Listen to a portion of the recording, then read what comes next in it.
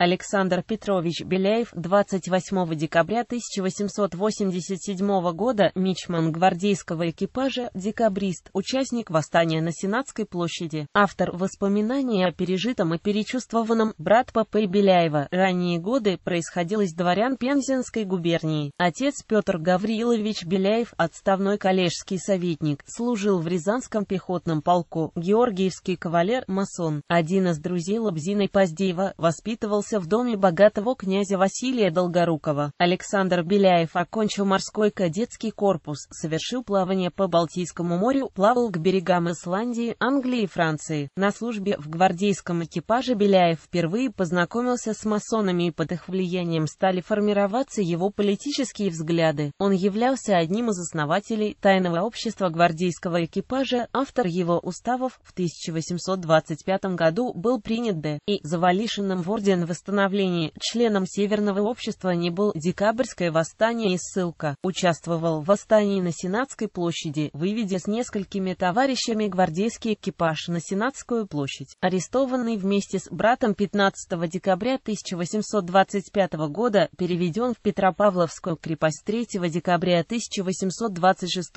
года, был осужден по ави-разряду. После восьми лет каторги был переведен на поселение в Иркутскую губернию, затем с указом от 23 июля 1833 года переведен в Минусинск, где находился до марта 1840 года. В Минусинске братья Беляевы активно занимались сельским хозяйством. Они завели молочную ферму, стадо мясного направления в 200 голов, вводили новые сельскохозяйственные орудия труда, культивировали новые продуктивные сорта гречихи, ячменя, проса и подсолнечника, улучшали породу местных овец, открыли даже небольшую школу, составили для нее учебники и сами стали в ней учителями, в 1840 году братьям Беляевым позволили поступить в военную службу рядовыми на Кавказ. После получения офицерского чина братья вышли в 1846 году в отставку и занялись сначала оба пароходным делом. Позже Александр Беляев с успехом управлял поволжскими имениями Льва Нарышкина, пытался облегчить жизнь крестьян. Последние годы жизни провел после амнистии в Москве, потерял зрение, похоронен похоронен на Ваганьковском кладбище. К концу 1940-х годов могила была утеряна, точное место было установлено усилиями В.В. Сорокина и Л.А. Исторжепского по фотографиям краеведа Т. Лебедева. На памятнике стоит неверная дата смерти 1885. Мемуары. Написал мемуары «Воспоминания о пережитом и перечувствовании» 1805-1850, в которых подробно описал свою жизнь и деятельность в Минусинске. Мемуары Александра Александра Беляева содержит много интересных психологических и бытовых черт и характерных деталей. Рукопись была прочитана Л. Н. Толстым и заинтересовала писателя. Он выступил ее редактором и рекомендовал к изданию. Первые мемуары были опубликованы в русской старине в 1880-1881 годах. На следующий год вышла отдельным изданием. Книга Беляева содержит ценные сведения об организации быт каторжной артели, занятиях в ссылке, жизни жизни на поселении Ибати-Сибирской провинции. Отдельный раздел воспоминаний посвящен службе на Кавказе. В мемуарах Беляев показал себя человеком очень религиозным, врагом крепостного права, сторонником гражданских свобод. Прогресс общества, по его мнению, должен осуществляться на основе религиозной морали и без насилия.